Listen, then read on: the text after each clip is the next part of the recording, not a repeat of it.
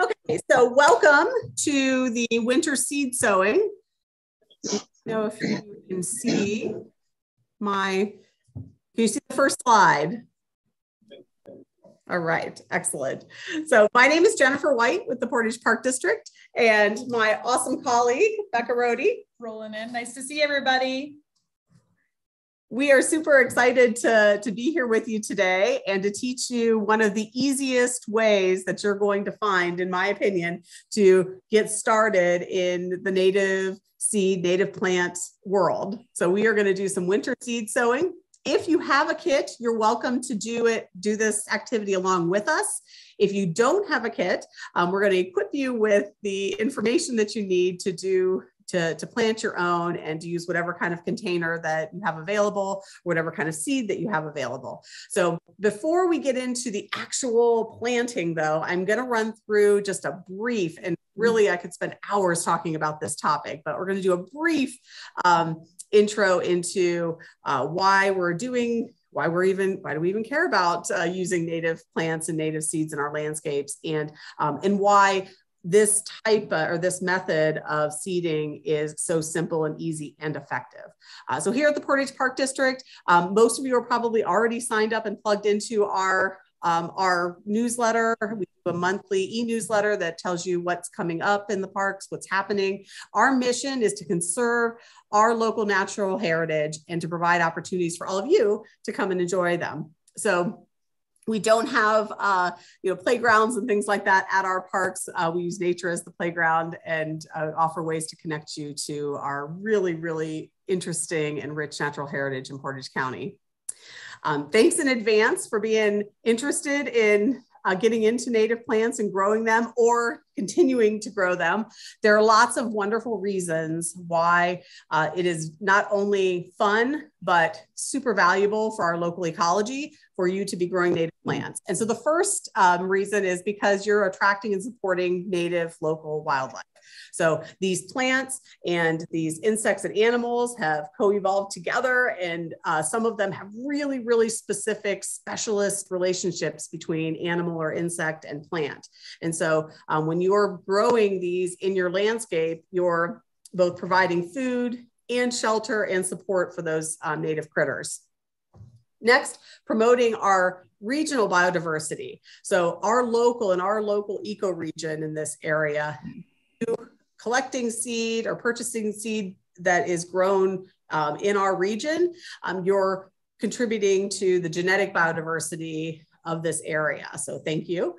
Uh, using native plants reduces soil erosion because native plants generally have really deep, um, extensive root systems. And so they hold the soil in place and keep that from eroding. They're also pretty hardy, so they require less or little or no fertilizer than a lot of our cultivars and um, uh, ornamental plants. And they require less watering. They are adapted to our, our conditions here. And they're just a, a an easy you know, hardy group of uh, plants to grow.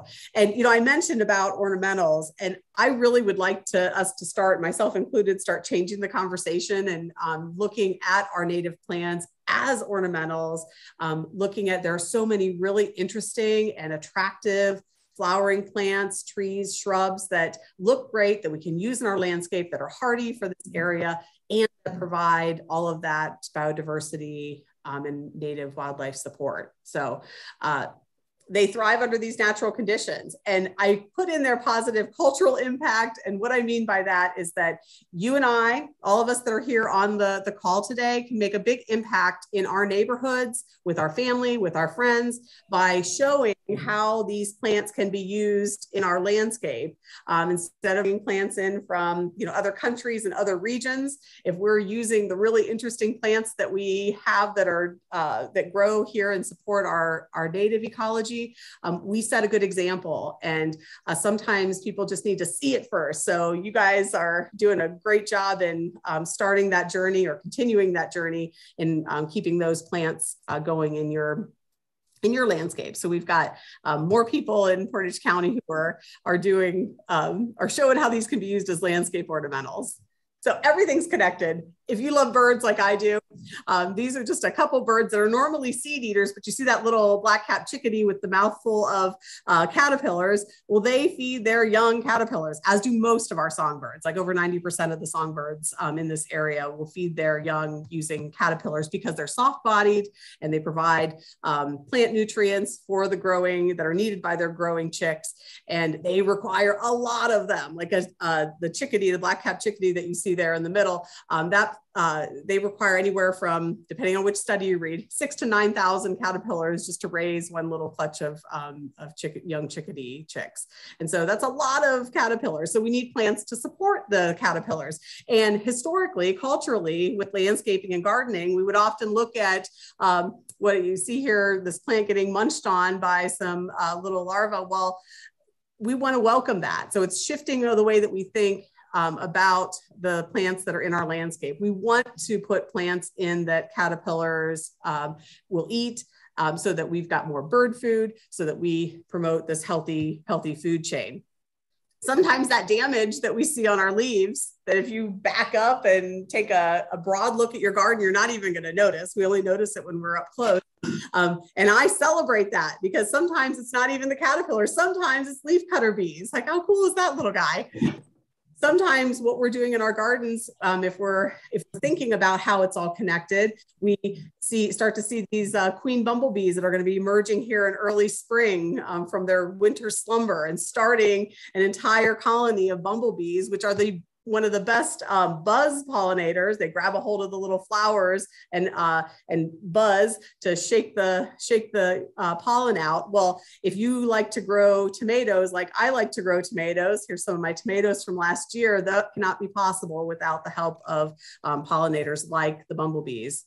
So it's all connected and we fit into that. And so what we're trying to do is by using native plants in our landscape, we're making our landscape functional. So we're making it, um, we're having plants that caterpillars, see that over here on the top left, we've got a monarch um, caterpillar that's on one of my swamp milkweeds.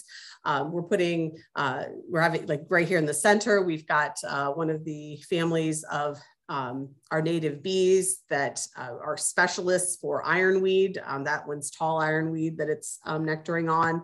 And we can even create, use some of these plants. If you visited Morgan Park, uh, right at the trailhead, there is a rain garden that uh, we installed it's been two summers ago now.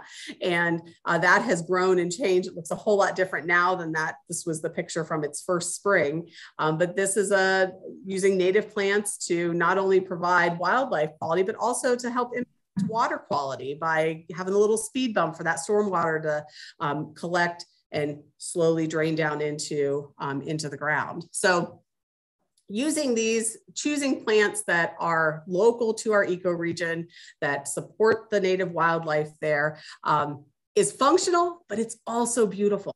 It's also beautiful. So you can take some of the plants, and I um, historically, you know, I've been a gardener my entire life, and I definitely was drawn to ooh look at this different plant ooh look at this and the more i learned as you know i went to school and um, got got more involved in understanding these relationships i realized that things that are beautiful to my eyes um, aren't beautiful to the insects that we need to support in our our local eco region and so um, swapping out those plants that are either doing harm by being invasive or that aren't providing some kind of ecological function um, is something that I've been, I've changed over the past two decades.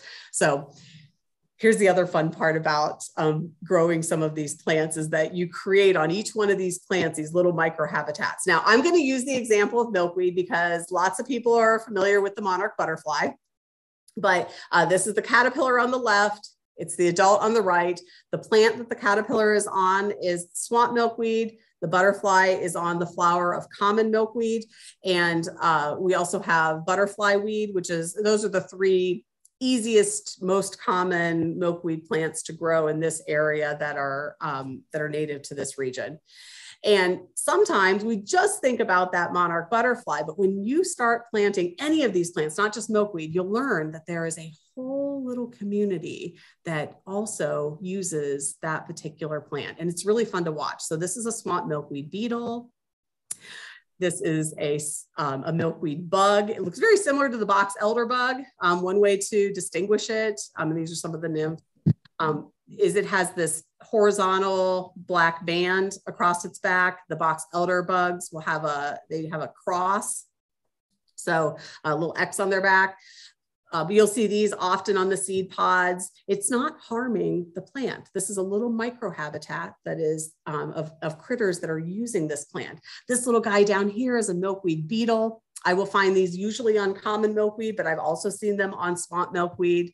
Um, and then you'll get these aphids that, uh, you know, we think, oh my gosh, the aphids. Well, the aphids usually come in um, later in the season. Um, there are ants that are on that uh, that are farming those little aphids and really any aphid if, if you've got a little colony of aphids of any species um, on a plant you can um, if you look closely you'll usually see a few ants that are there because the aphids as they're sucking the juices out of the plant they're also producing a little sweet honeydew that they're they're just they're getting rid of. And as they squirt that out the ants are lapping that up and using that sweet honeydew. Um, so they will they will often protect those little colonies of aphids. And then you have um, critters like this, which is one of the uh, larval forms of one of the uh, lady beetles or ladybugs, uh, and it they they are incredible carnivores that love to feast on on aphids. So you just have all of these interesting relationships that are going on just on one plant. So have fun with this as you start to grow some of these different plants, and it will become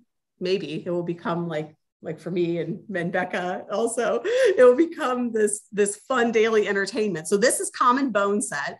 Um, and on this, there are dozens of different kinds of wasps and bees and flies and beetles. And just being able to watch them um, uh, nectar, watch them pick up pollen. Um, this is Monarda or bee balm, and there's a hummingbird moth that's in here, a clearwing moth. There are a few different types of bees that are in there. There are some flies and some um, and some beetles that are also visiting that. It's so much fun to watch and see what's using it, and even looking on your in the area around your garden. So um, I had a nice little video, but PowerPoint decided to not let me play it today.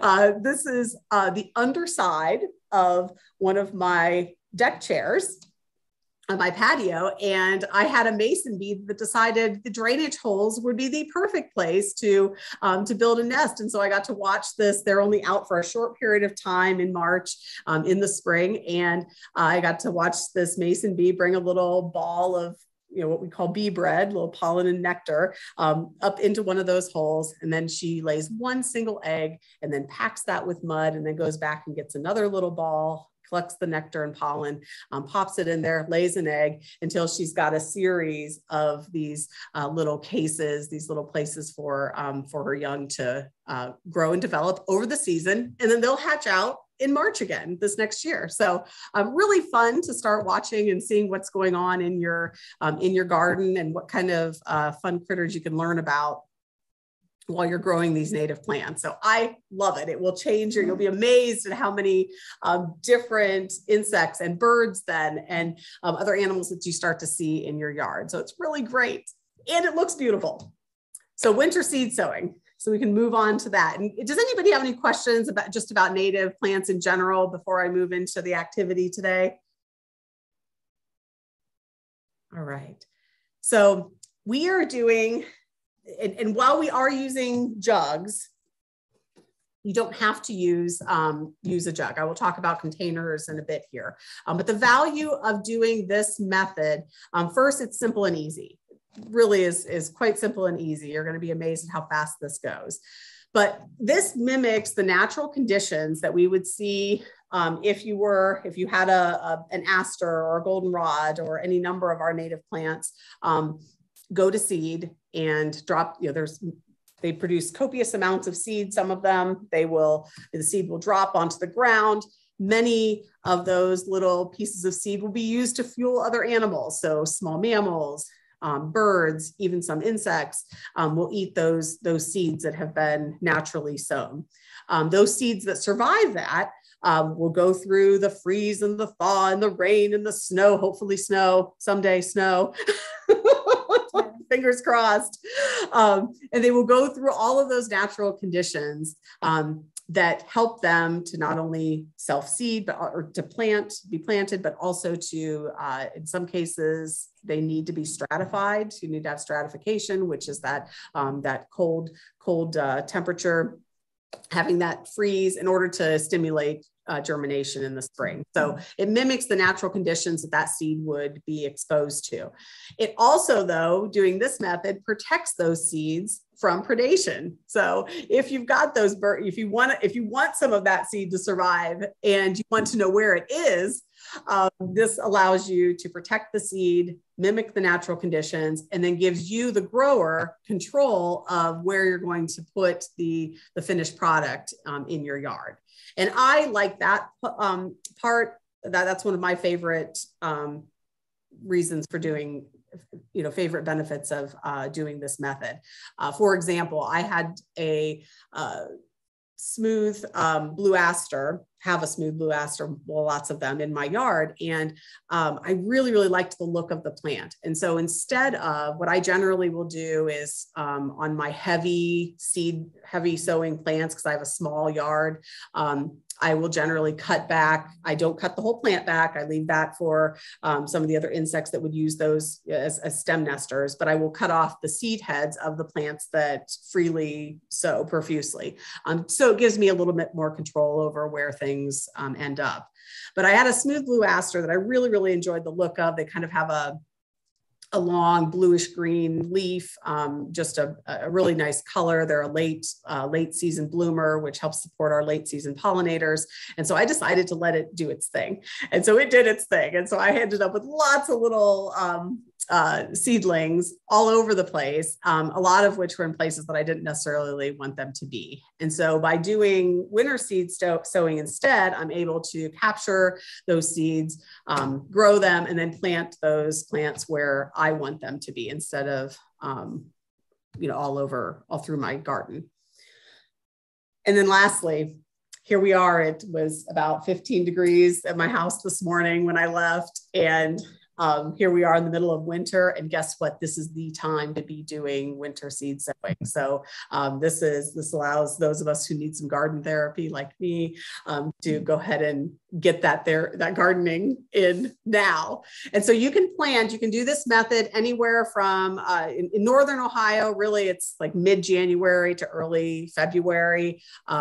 I have some friends that are um, up closer to Lake Erie who will uh, winter seed sow as late as mid February, um, but you can do it as early as um, right after the first of the year. So as soon as um, as soon as January starts, you're, you can start seed sowing. Um, I like this time of year, mid mid January. Uh, not all of these seeds need to be cold stratified, but it hits enough of them for the ones like milkweed that need a, um, a good hard uh, freeze this this allows those to you to be successful with um, with germination on those. All right. So few considerations. I have our website up here on the left, and I've circled. If you go on our website and you go and you click on things to do, it'll do a little drop down menu. Click on education resources, and then click on build a rain garden. Now we are not building a rain garden today. A lot of the plants, though, that are used in um, rain gardens are um, well, all of the plants that are used in rain gardens are native plants. And I have two resources that are on that page. Uh, one is for native plant nurseries or sources, and the other is a native plant list that is maintained with in the Northeast Ohio Soil and Water Conservation Districts. Um, it's a searchable um, Google Sheet. And so you can search by flower color, bloom time, bloom height, soil conditions, sun requirements, um, just to get an idea of what might be some, you know, either woody trees or shrubs or perennials or annuals that you might want to use in your landscape. And so it's a nice tool. It's not the type of spreadsheet that is printable. I mean, it is a, it's pretty extensive, um, but it's an active uh, document. So um, they do updates in there as more information comes available about um, the habits of some of these plants. So it's a nice resource to use.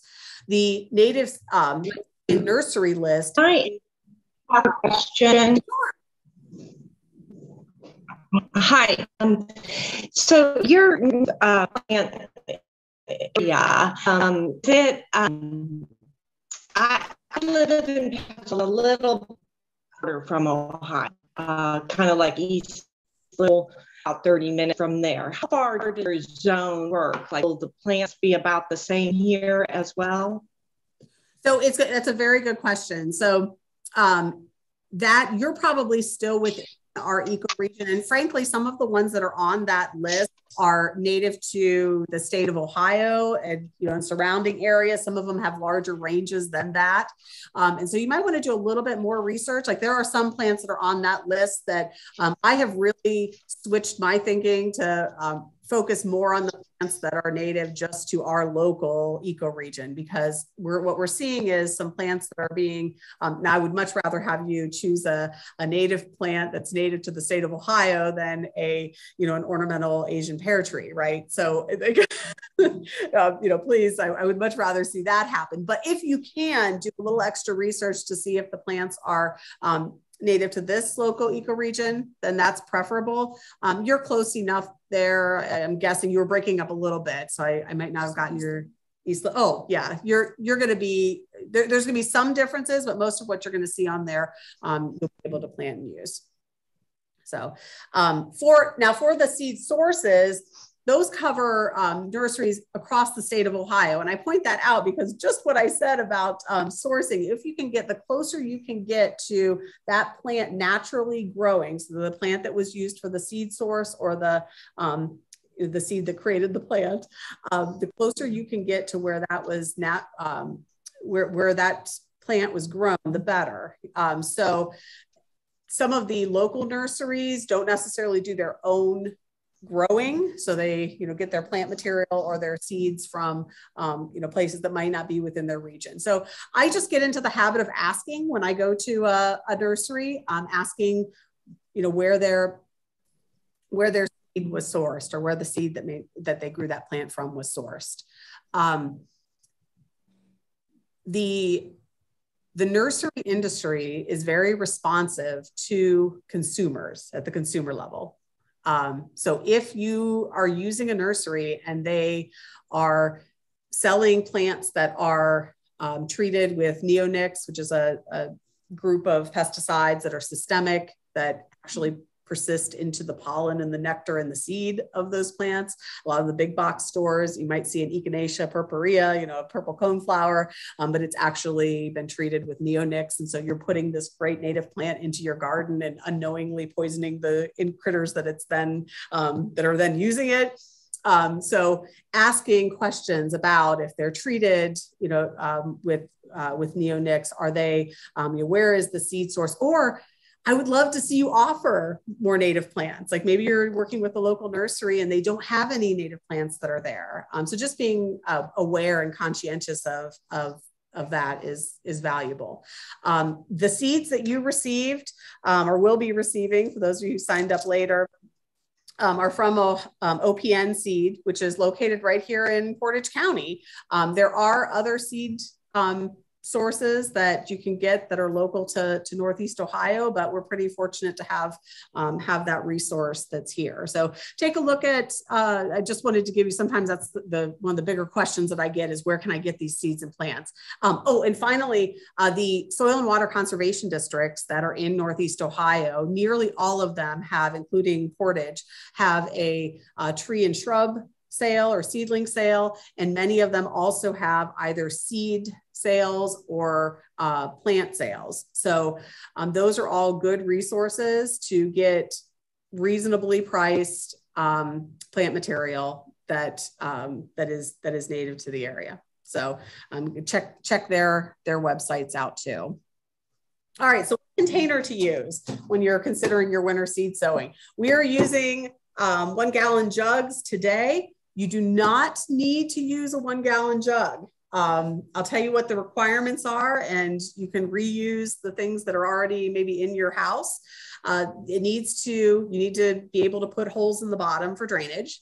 Um, it needs to have a clear enough top that uh, that sunlight can get in once the for one both to warm it up but also for once the plants sprout to support their growth um, it needs to have uh, not it shouldn't be completely open but like this little this little top of the jug is enough is open enough to allow enough rain in um, to keep those seeds moist. So you need to have holes, holes in the top and, um, and then you need to be able to open it up in the spring. The nice thing about this method is that we are going to put these seeds in this container. We are going to tape it up and then we are going to stick it outside and it's going to hang out there until May. and then you can open it up. Like you don't touch it. Just let it be, let it do its thing. This is low effort. We are just, um, we are just um, putting them in a place where nature can do its thing. So, um, so if you, if you want to use, I've seen, um, smaller like half gallon um, jugs used i've seen um, plastic like you know like containers that you would get uh, you might be reusing from food yes, bakery containers, things like that, like the clamshells, those kinds of things used. Um, so you you don't have to restrict yourself to, to using a gallon jug. Um, this is just what we're choosing to use today. Yes, and Becca's going to add something to here. Like Jen said, you might have to add holes to whatever plastic recycled plastic container you're using. Um, the opaque milk jugs don't work because they don't let in enough sunlight. So I know Jen said it has to be clear enough. If you get those milk jugs that are solid white, they are not going to work. So make sure that it's clear enough that sunlight can get in. Perfect. Okay, the soil that you use, you can use um, the ones that I use, my, the ones I do at home, I use compost. Um, but you should only use compost if you if your compost pile gets hot enough to kill all the seeds that would are in it. Otherwise, you're going to have um, the control that we're hoping to gain by being able to grow our plants isn't going to uh, work out because you're going to have seeds sprouting up from you know the seeds that are in your compost bin.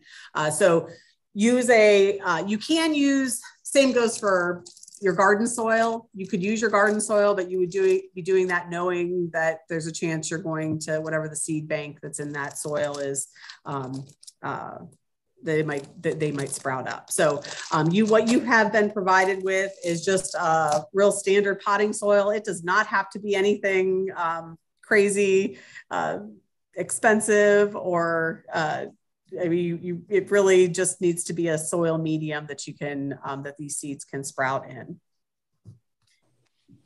Uh, you're going to need some scissors or a, you know, a blade, like a box cutter, something like that to, to be able to cut your container if it doesn't have a lid. Um, and then tape. Now, I've seen people use painter's tape or uh, packaging tape, but I recommend using duct tape because it stands up better to the elements here in Northeast Ohio. And then a permanent marker and optional, you can also have a little, uh, use a popsicle stick or a, um, a plant marker. Because uh, sometimes if you write, we're going to write on these um, to label them on the outside, but sometimes by mid-May that gets that gets weathered away. So if you put a label inside when you plant it, then um, if you're if you're planting a bunch of different things, you know what the heck you planted, and you yeah. don't have to guess in the spring. Although it's kind of fun to ID them. let me sorry, just yeah. I did see on a winter sowing Facebook group if you're really concerned about labeling, if you don't have a popsicle stick to stick inside your soil, you can tie a piece of string around the top and then laminate some kind of a label. You just want it to be waterproof for the top, so that would be another way to label them, or you could tie it around the handle even. Um, I think they use floss actually to tie it on. So oh, nice. Nice. Very good. So before we get started with the actual planting activity, does anybody have questions? All right, I love it. I love it. Um, so what you're gonna do, I've done a little bit of the prep work for you on, this down here. Yeah, there we go. I've done some prep work for you on your, your jug. So the first thing you're going to do um, on one of one side, most of them were on the right side, but um, on one side, you'll see this. I've already started um, a little cut for you. So you just take your scissors and you're just going to cut around um, your jug along, along or near that black line. Don't judge my, I did that. I did not measure. So it just, what you want to end up with is this kind of a scenario here where you have a hinge your uh, handle, you have a hinge by your handle so you can open up the top of that container. If you cut too far, it's not the end of the world. You can just nope. tape it on. Nope. this is this is a very easy activity, you guys. the other work that I've done for you ahead of time is I've punctured some holes in the bottom of your jug. Um, so there, I'm gonna, in a moment, I'm gonna turn this over to Becca so she can share her method. Um, I used a, well, on some of them, I used an ice pick. And on others, I used a, I just used my box cutter that I cut the, so I've just made some slits on the bottom. Um, but there's, you just wanna get maybe a half a dozen or so holes um, in the bottom just so that you get the drainage. But Becca used the glue gun method. Yeah, you just want the water to be able to escape. Jen's methods were more violent than mine. Um, so you can heat a hot glue gun and use it to, to put holes in the bottom. It takes a little longer and you got to be patient to hold it against the plastic. It'll kind of melt the plastic. It makes a nice, neat hole for those of you who are OCD, um, but it does take a little bit longer because you've got to warm up the gun. So stabbing works. You can stab, just it might be each each preference whatever whatever you can do safely do not hurt yourself making holes. Jen did make holes for you guys though so you've already got them in there. And you can do a drill so if you look on the oh some people drill yeah. Yeah you can do you can do the drill there too. So um, i have found with the these kinds of containers the plastic is so thin that um, using a drill is a little excessive. Stop this here. Okay, so you're going to do your, you go ahead and cut that. You've got your hinge. And then the next step is the soil. So um, these are, now when I do this at home, I do more than one. So I just take a tub, dump my soil medium into the tub, and then I get it nice and wet. What you don't want to do is plant these seeds in dry soil. So it's really, this is, this is the most important step short of putting the seeds in.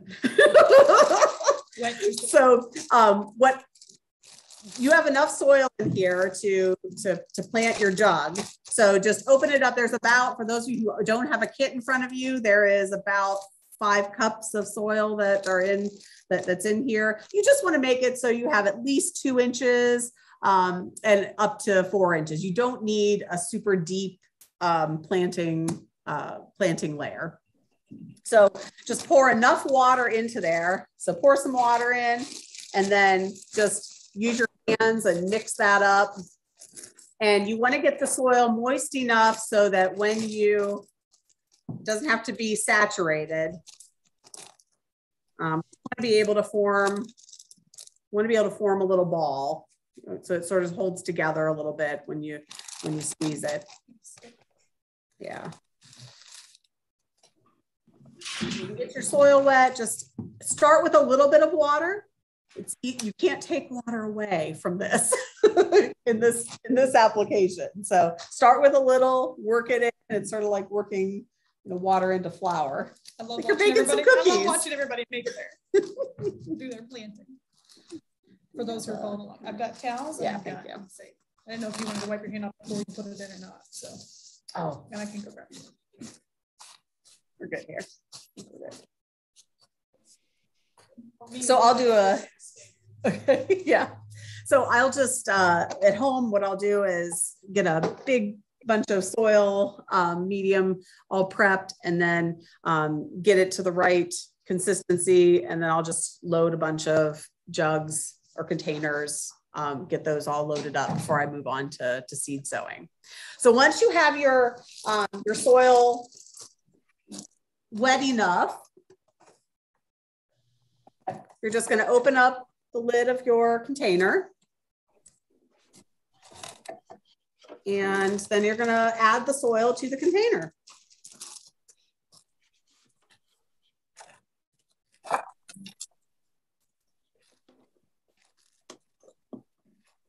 Please reuse your plastic bag. I try to stay away from, I feel like there's a lot of plastic in this activity. My preference is to stay away from plastic as much as possible, but it, we have so much of it in our life that we might as well reuse the what we've got. It's here. So filled, I filled up my container and then I'm just gonna, I'm just gonna gently press it down. See if you can see there. Just gonna gently press that down, the bottom of the container kind of make a, you don't have to get it all super flat. So those of you who are, who like straight lines, Um, in fact, what I'm going to do here, because this is all the soil I have to work with, I'm going to um, build just a little bit up along the sides, just slightly, because these seeds, um, when we plant them, you don't even have to cover them at all um, if you if you don't want to.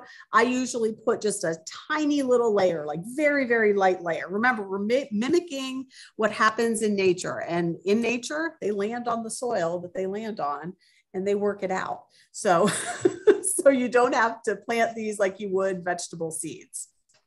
All right before I put these seeds into the soil, I want to have a little chat about the seed mixes. Um, you were asked to give your preference, your light preference. So if you've got the pea, um, that's part shade and part sun. Um, that's part of uh, OPN's um, mix that is the woodland edge mix. So it's for filtered light.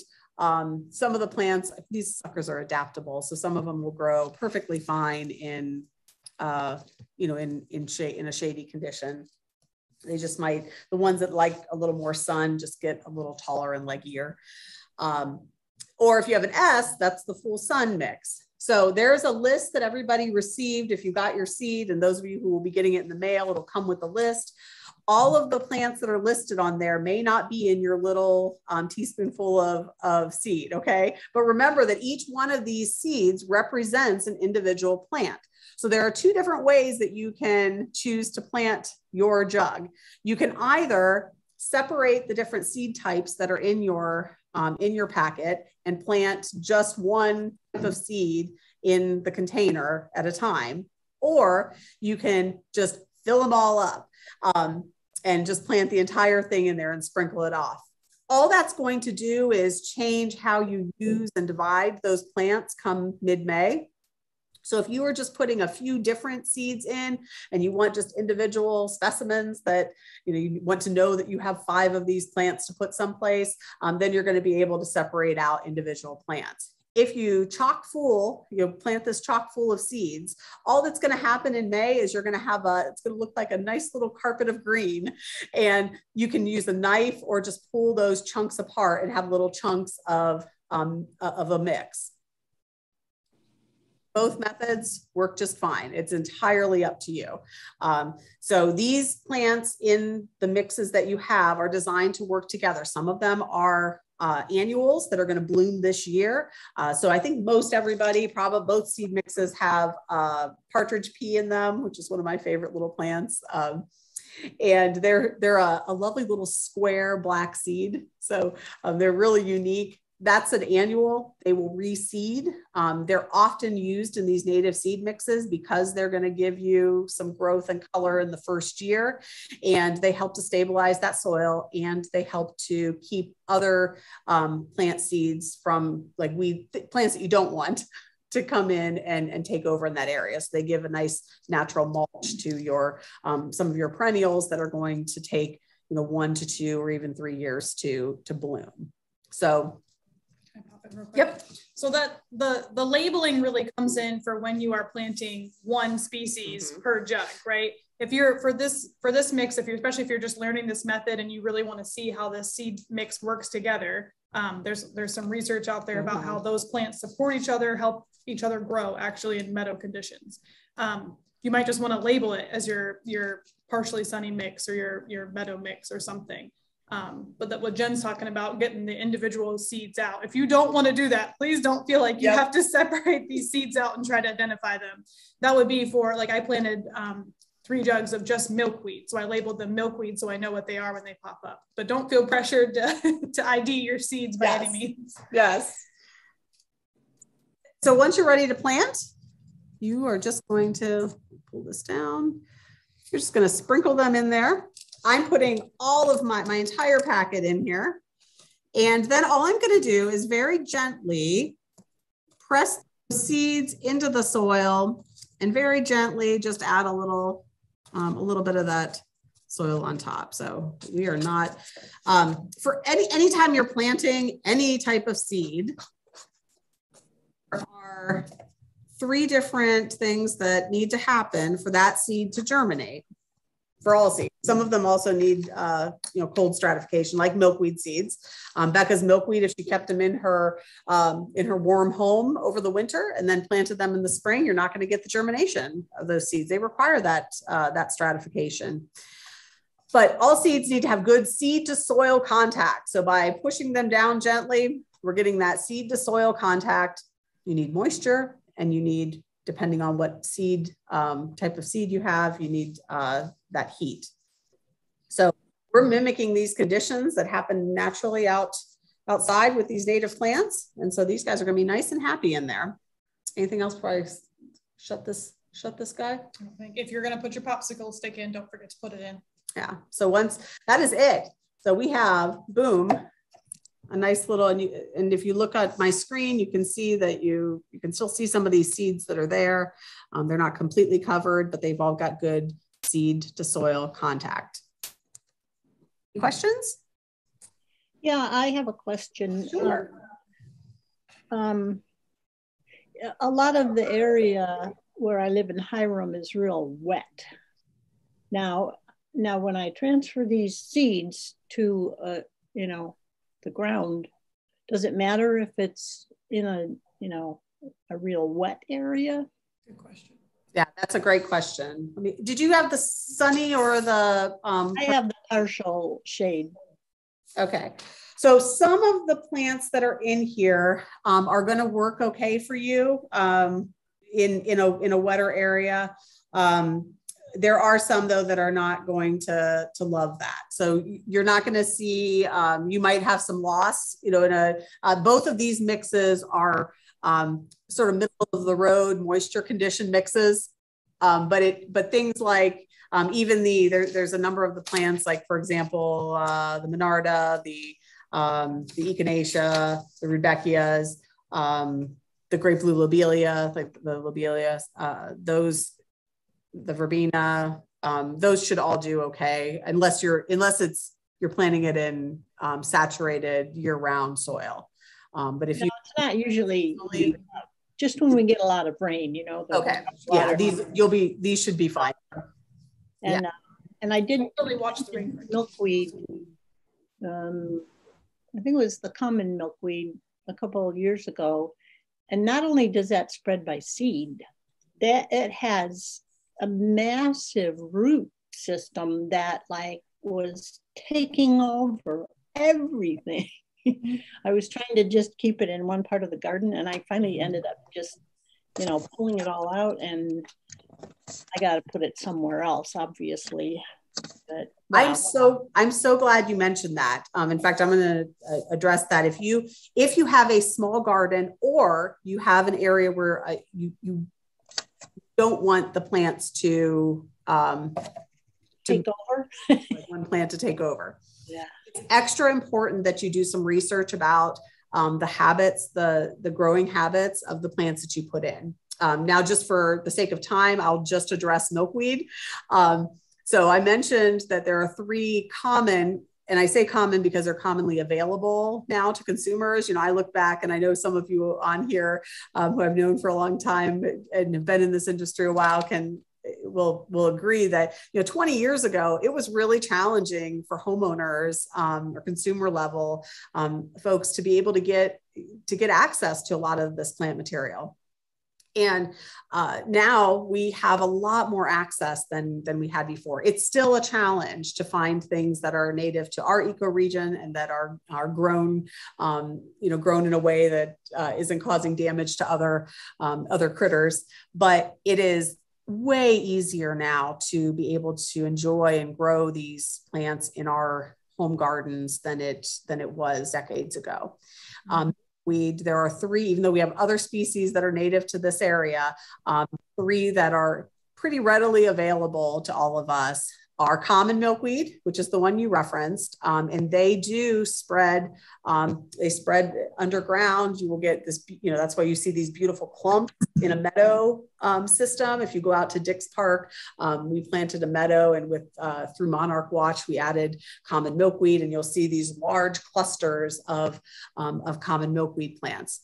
Now, they don't look like they've taken over the entire meadow. And the reason is all that what Becca mentioned with all of these um, the root systems of all these other um, plants that have grown with them. So you don't get that big explosion where you, they take over the entire meadow.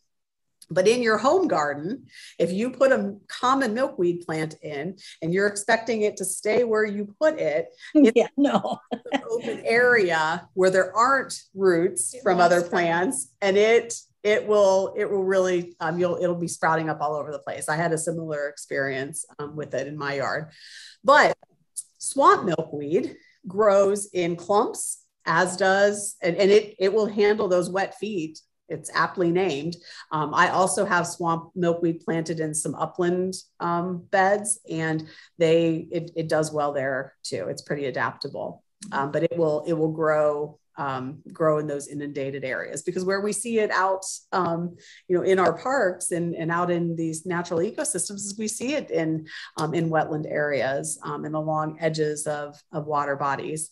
but it stays nicely in a clump. The uh, butterfly weed um, which is the, the third commonly available milkweed um, plant. It likes dry feet.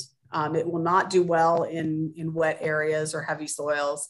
Um, it has a beautiful orange flower on it, and it also will clump. It's a plant that doesn't like to be moved much. Um, so that's one that if I recommend you starting it from seed, um, and if you want it in multiple places, you have multiple plants then to be able to place because they don't really like to be moved in my experience. So okay, yeah, good question. Thank you for bringing up the milkweed.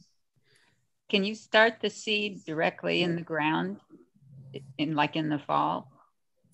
Yes, I will tell, I will say though, especially with, um, uh, I've had a lot of success with swamp milkweed and common milkweed, just you know, letting start direct seed, direct sowing it in the ground.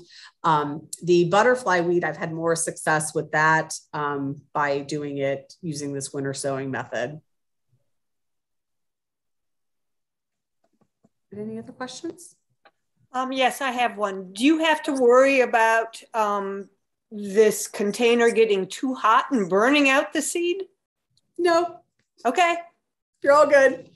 Set it, set it and forget it. so you just want to make sure you've got a nice opening um, and uh, you'll, you'll be pleasantly surprised come May. We, I have, um, if it was a really, really dry spring, mm. if we didn't yeah, get any snow, we didn't get any rain, I know we're all hoping for the snowstorm tomorrow. um, you could check in like March, just, you know, just look down the top and see if it's very dry in there, you could add some water would be about the only maintenance mm-hmm. you would need to do just to watch for drying out. But ideally, we're going to get snow, we're going to get rain, do your snow dance. You know, mm-hmm. the snow will even collect down that hole a little bit, the rain will get in there and they will stay wet enough. But yeah, the only thing I would think would be if it got too dry. Yeah, good point. Good point. Come on, Ohio. Come on. Do do, right? um, other thing I'll say is you're, you know, you're going to be able to peek down in there, and there they should get, I mean, your plants in different species grow at different rates and germinate at different times.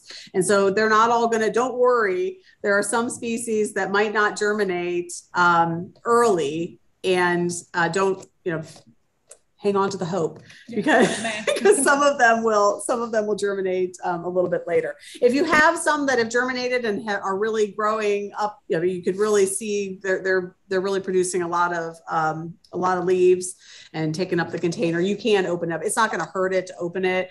Um, and then if you if we get a killing frost um, again a lot of these i got to be honest um, that that killing frost protection um, is more for people who use this method for growing vegetables, which you can do. You can use this for um, vegetable seeds too. This method. Um, but that would be for like if you're growing tomatoes or, or, peppers or something that are really really sensitive to frost then you're going to want to make sure that you keep them protected um, for these native plants you guys i mean imagine again mimicking natural conditions um, when something germinates in late march or early april and starts to grow and we get a killing frost guess what it survives.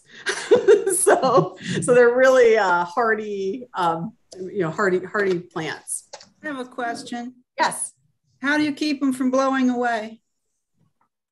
Oh, so the the themselves, um, they're they shouldn't dry out like Becca was mentioning. They start to get really dry and lightweight. Um, you want to add a little water to them, but uh, put them in a place for if we have those, you know, hurricane level winds, put them in a place that's a little bit protected um, from the wind.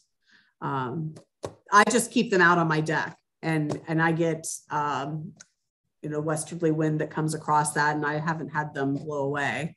Um, If it's really windy where you are, you could tie something to your handle and then like I've got mine next to the, to my deck. So I could, I could tie mine there if I had to or to keep them if you, if you get a really, cause I'm up on a hill, so I get a lot of wind through there too, but I'm hoping the soil should be heavy enough in mine to keep them.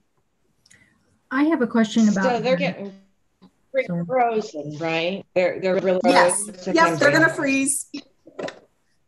Hopefully. Yeah, hopefully, hopefully, yes, we're hoping for freezes. I have a question about the size of the garden. I have the full sun seed mix, and if I Mhm. planted all of them in one location, what what size of garden size do you think I should till? Oh, that is a great question. Um, I'm going to, I don't have the label. Oh, wait, I do. Just a moment.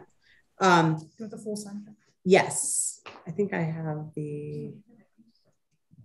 See if I've got it written. down. Oh, I don't. I'll tell you what I'm going to do. When I send the, I'm going to send a follow up um, email to all of you that has the link. I will make sure that I put in um, approximately because you're getting a portion of the seed packet from you know your seed packet and I proportion them out for um, to give a little bit to each of you. Um, and I'll include the information on that. So in, in approximately what the size is. Okay. Because I don't know, have that right in front of me. Yeah. Thanks.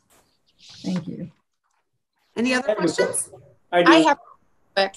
Um, I know that you guys have provided all of this to us for free, um, but is there a place where we can make a donation or something? Oh, all of our, so our part, thank you for that question. Um, our Portage Park District Foundation, um, they help to support our education program efforts. Um, they sponsor our Wild Hikes Challenge, if those of you who have, um, who have participated in that. And if you go onto our website, they are always, um, you know, thrilled to accept any, you know, any donations. And those all go to the Park District um, for programming. Thank you. I have a question. Sure. Can you speak some more about um, the seeds needing to be outside and cold? So Sure. that they, so that they will germinate? So some seeds require um, stratification, um, which is like the changing, the freezing, um, and they require that in order to stimulate germination. It's no different. Well, it's similar to. It's just another um, requirement. Like if you go out out to the Midwest to um, prairie, a prairie ecosystem, like a true tall prairie ecosystem, many of those seeds require like a burn, you know, periodically to stimulate germination. There are um, lots of different for different plants, they require different things to stimulate germination. And um, I'll also include in that, and our USDA did an interesting, um, uh, one of their study trials, they put together a chart of uh, native plants and which ones needed how, you know, a certain amount of, um, of cold and freeze and, you know, and moisture levels. And so that might be interesting to some of you. So I'll include that in the. Uh, that would be great.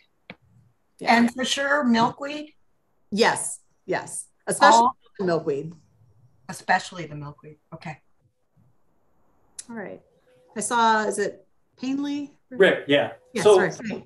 yeah, so I've got, um, I've been making a pollinator garden. And by do what I've been doing is taking like a 10 foot by 10 foot piece of carpeting, killing the grass, removing that, taking, you know, then cleaning that up a little bit. Um, I, since I have the sun mix, which would be better, wait till May, sow the seed directly into that, or go ahead and plant this in the milk container and then transplant those. I've had, yeah, it, it really, it, it does depend. It depends on what you're, you know, what you're looking for. For me, I, I really enjoy um, doing the, the winter sowing and then having the option of putting, you know, putting what I want in there based on what has, you know, what has germinated. Um, cause you're not going to get a hundred percent germination rate on it. Um, and if you're doing, like you, you could divide up what you've been given here into multiple containers and then you know add those in. They're going to be small enough that um, that's not going to impact but if you don't want to do if you don't want to do that it would be okay to um, to sow them in the spring. Um, becca just was working with at her at her home was working with um, opn seed on doing a, a large area in the yard and um, they can give i'll let you yeah so they're um, opn's great for any of you you guys want to ask them questions about your specific planting area and how you want to do it. Because I converted about a tenth of an acre that was grass in my front yard to meadow. Um, so I did the same thing. I, I, I, Rick, I laid down tarp and killed the grass and then prepared the soil from there. Um, if you wait until spring to plant there, though, you will get your growth, especially the ones that need cold stratification, you won't see until next spring, mm-hmm. right? So just if you, it depends on your patience level um, I would maybe do a little bit of both, you know, do some of the, the, the winter sowing right now, put some of that in there and you could seed too in the spring if you mm-hmm. really wanted to do both. And then you'd have kind of a, a tiered growth thing going on. But if you, yeah, if you wait until spring to plant anything that needs cold stratification, you're probably not going to see growth until the next spring because it'll need, it needs the cold to happen. Does that, does that help a little bit? Yes. Okay. Just give me a thumbs up. Any other questions? I have a couple of things. Um, first of all, if people were not aware, um, the Western Reserve Land Conservancy is having a native plant symposium going on right now. And I, wa- I watched um, the first part of it yesterday, just some mm-hmm. awesome and interesting information. Um, this a quick question is what about putting um, um, seed starter over those plants? You know what I mean? Rather than soil, if I had some seed starter, could I put that over the seeds? Mm-hmm. Or you would prefer to see it be potting soil? They are not, this is what you have on hand. I've used sand too for, um, you know, for native plants. You just put them on the surface and then sprinkle mm-hmm. Sand over top of it just to okay. keep it down and maintain just, that seal, that soil contact. Mm-hmm. Okay.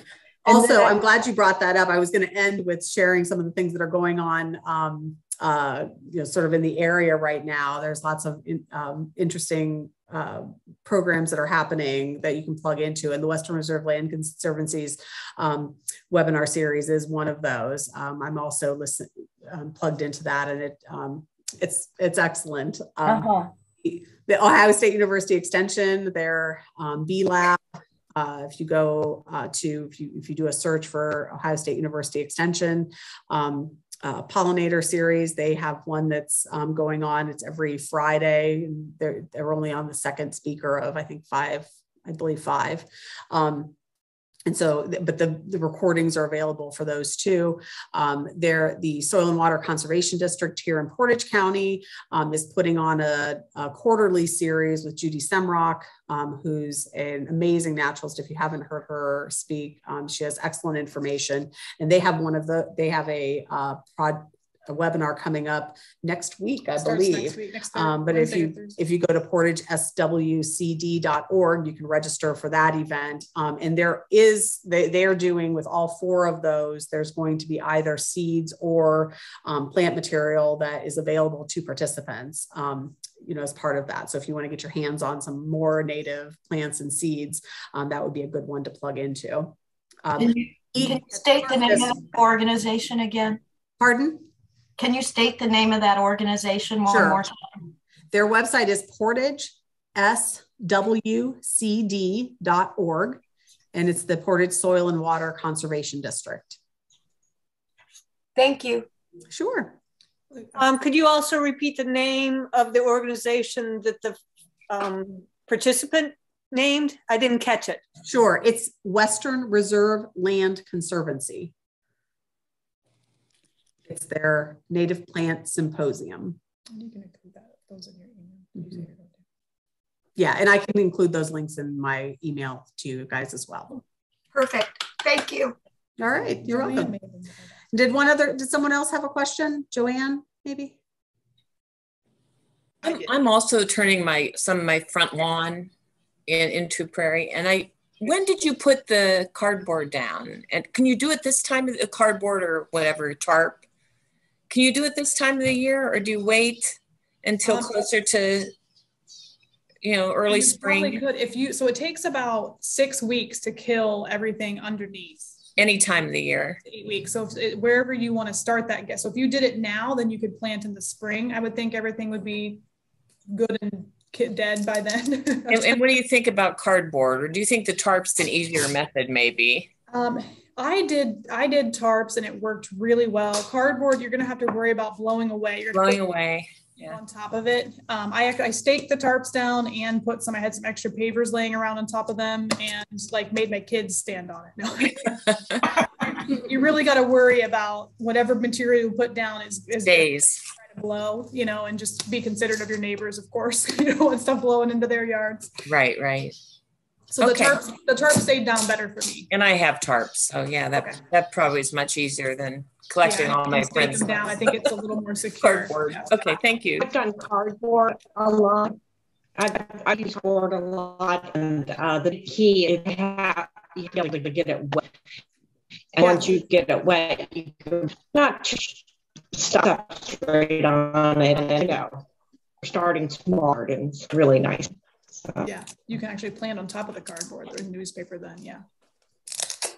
While we've been, uh, while I've been listening, we, I'm just taping, taping up my, my jug here. So that's your, the, your last step is going to be to tape it up and then label it if you need to label it, if you're doing an individual species. So you want to make sure you tape it up enough so you don't have water that's air that's getting in there. That's going to help, um, help to keep it solid and not blow away. Um, but just take it those sides taped up. Um, there is not, there's a lot of wiggle room, you guys. This is an easy, simple project. So, all right. Any other questions before we wrap up? if I put all of these together in the rain garden, is that going to be useful or will a lot of them not survive being that wet?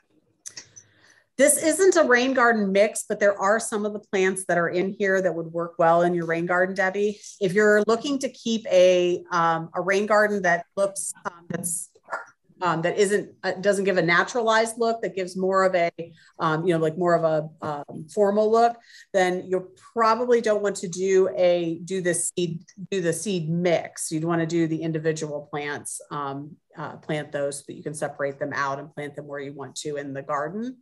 Um, but you're going to see some of them won't make won't work in a um, in a wet area if you look at the rain garden list though you can um, you can you can compare that with your list that is included in your packet and see which one of the plants overlap. Okay good. Thanks. All right. Anybody else? I'll make sure How many, didn't how many people are gonna get their jugs out before the snow comes on Sunday? Oh, yeah.